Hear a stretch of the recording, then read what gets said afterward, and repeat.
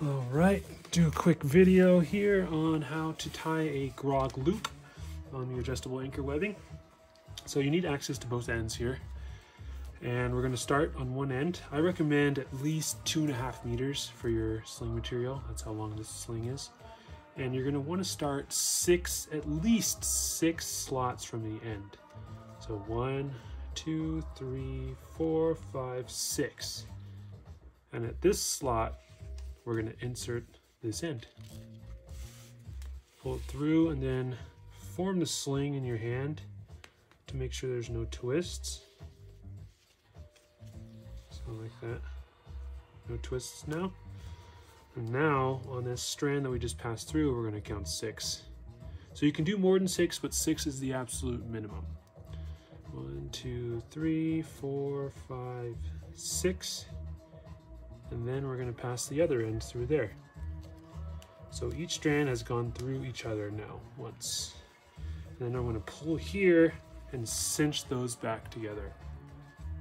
And now we're going to take each strand and weave it back onto itself. So this strand here is this one here.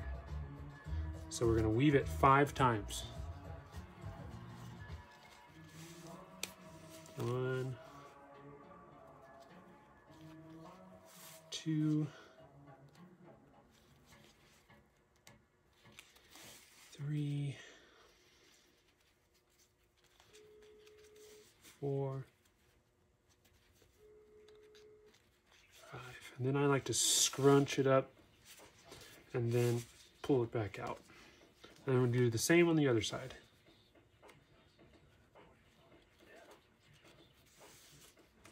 One, two, three, four, five. Pull and straighten there. And there we have it.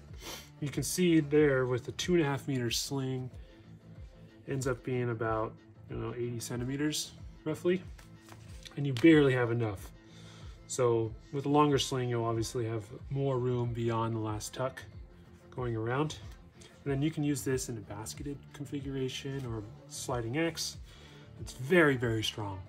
Um, yeah, that's how you do a grog loop with the adjustables. Let me know if you have any questions.